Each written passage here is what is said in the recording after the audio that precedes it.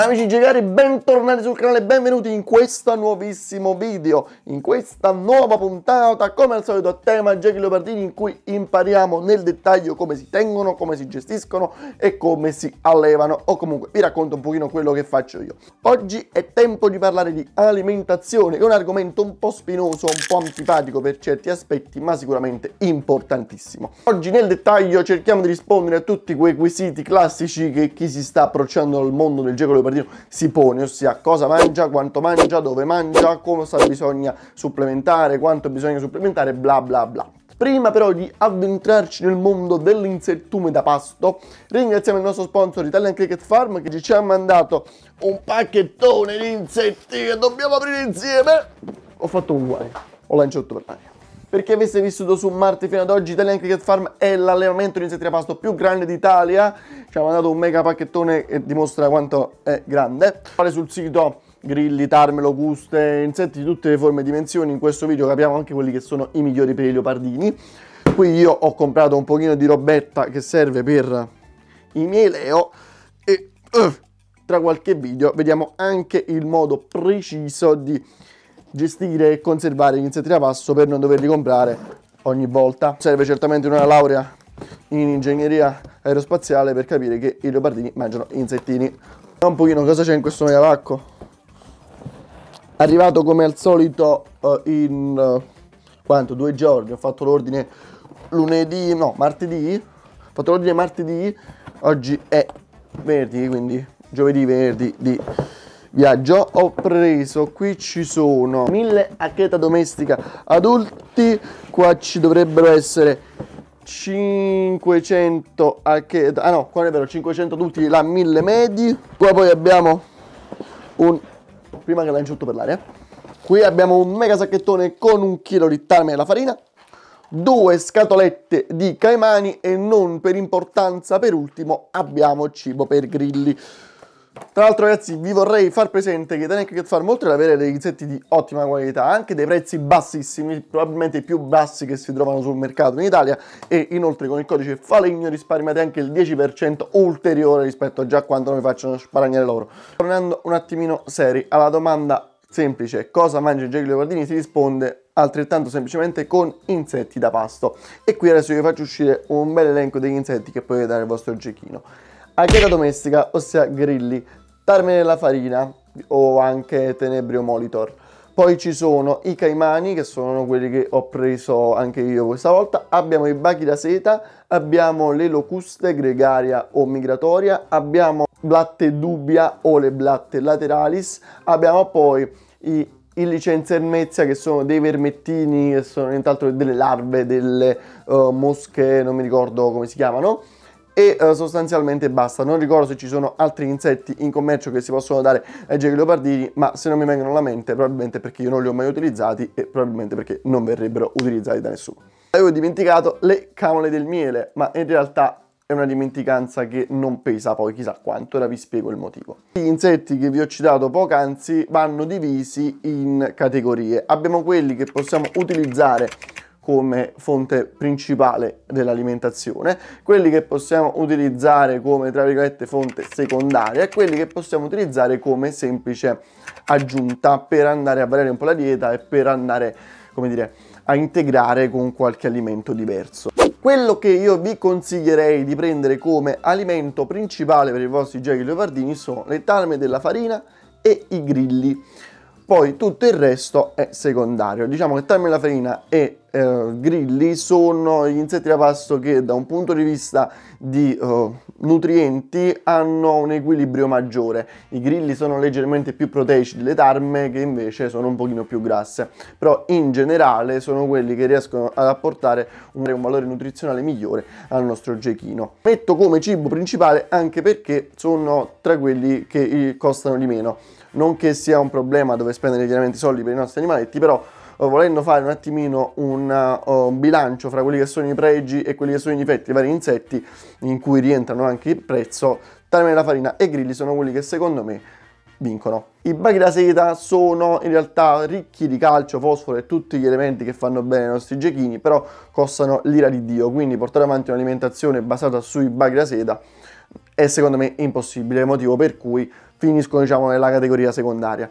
Le blatte lateralis e le blatte dubbia sono entrambi ottimi e come valori nutrizionali sono vicini ai grilli o possiamo dire che sono equivalenti ai grilli. Tuttavia però i grilli costano decisamente molto meno e non sono infestanti, cosa che invece le blatte lateralis sono, quindi se vi scappano per casa sono macelli. Quando invece riguarda le blatte dubbia non sono infestanti, però sono grosse, almeno da adulte sono gli scarafaggi così grossi che un geco leopardino potrebbe faticare a mangiare, a meno che non sia Alfredo, comunque un animale molto grosso, difficilmente riuscirà a mangiarsi una dubbia adulta. Costano anche un bel po', quindi secondo me rispetto ai grilli sono un passo sotto. Poi le locuste sono anche queste abbastanza grandicelle, però sono più longilinee, quindi riescono ad essere mangiate con più facilità dai nostri uh, gechini, però hanno un quantitativo di uh, calorie e di proteine un pochino troppo alto in relazione al resto dei nutrienti, quindi vanno date ma non con la frequenza con cui possiamo dare i grilli, motivo per cui anche le locuste si trovano, diciamo, nel limbo nella parte di mezzo. Quindi ricapitolando, nell'Olimpo degli insetti da pasto la prima scelta secondo me devono essere tarme la farina e grilli. Poi possiamo utilizzare una volta ogni tanto giusto per far variare la dieta e per evitare che ci infestino casa le blatte, quindi dubbia o lateralis, quelle che volete voi, o le locuste e i baghi da seta, anche perché altrimenti ci prendete un patrimonio con questi insetti.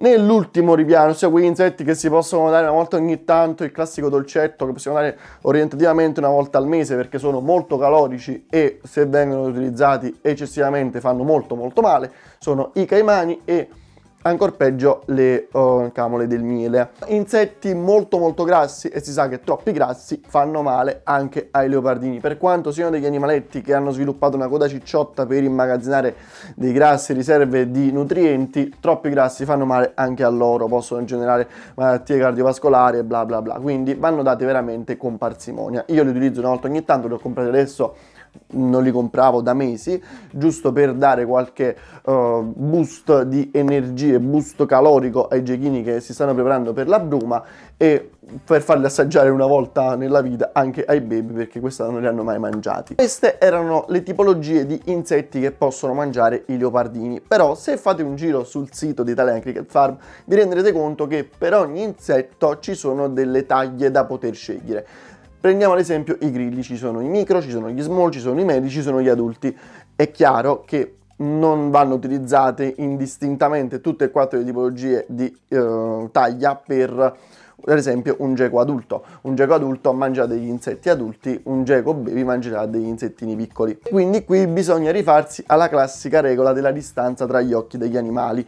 La preda che gli daremo in pasto, quindi ad esempio il grilletto, non deve essere più largo di quant'è la distanza tra gli occhi dell'animale. Quindi per un gechino adulto, che adesso vi faccio vedere subito, per un adulto come può essere ad esempio Muna, che come vedete ha una certa distanza tra gli occhi, importante, possiamo utilizzare anche ad esempio dei grilli adulti, riuscire a mangiarli con estrema facilità. Questo perché la distanza tra gli occhi degli animali è in un certo senso indicativa anche della larghezza dell'esofago. Se gli andiamo a buttare dentro un grillo così e hanno un esofago così, non ci entra. Capite quindi che questa regola la possiamo trasporre anche agli altri insetti, quindi ad esempio le blatte dubbia che sono così larghe mm, non vanno proprio bene per tutti. Per Alfredo che ha una testa così grande e quindi avrà anche un esofago così grosso, una blatta dubbia subadulta, quasi adulta, se la può mangiare lo stesso mentre ad esempio Muna, che è adulta, una blatta dubbia adulta comunque faticherebbe a mangiarsela. Quindi mi raccomando, attenzione al gechino in questione. Per quanto invece riguarda le locuste, il discorso è un po' diverso, perché anche se sono grandi, sono sottili, cioè sono lunghe, ma sono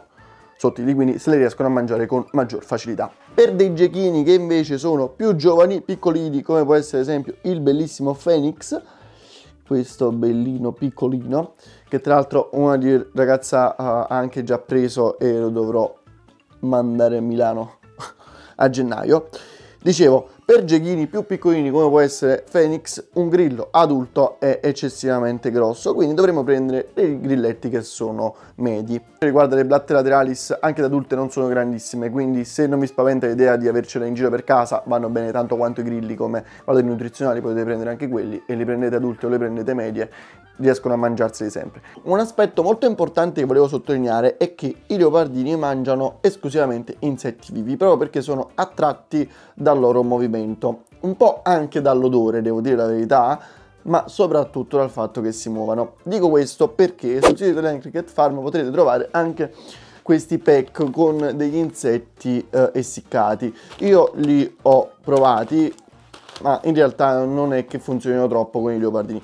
Dopotutto è anche riportato sulle confezioni che non sono indicati per i leopardini, però ho voluto comunque fare una prova. E devo dire la verità, appena aperti eh, emanano un odore abbastanza forte che è coinvolgente a quanto pare per i leopardini e li mangiano, però subito appena aperti, uh, proprio perché hanno questo odore molto molto intenso. Dopo qualche tempo però che avete aperto la busta, anche se chiaramente poi andate a resigillare, questo odore si perde e uh, risultano soltanto degli insettini essiccati e quando li proponete ai gechi non vengono neanche più attratti dall'odore e quindi difficilmente li mangiano.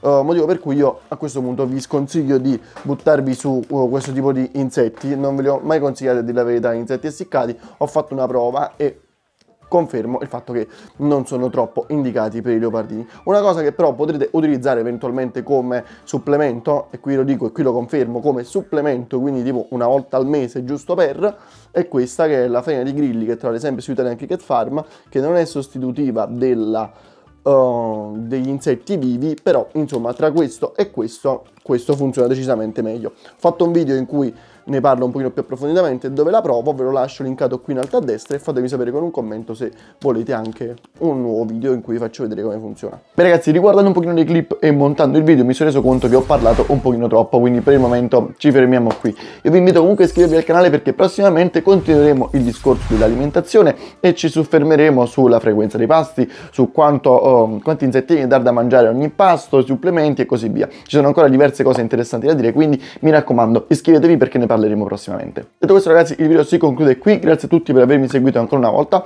vi do un saluto, ci vediamo al prossimo video sempre qui sul mio canale YouTube, ciao! Ah, me l'ho dimenticato un'altra volta, ho ancora qualche giochino disponibile, se qualcuno di voi fosse interessato faccio gli sconti di Natale.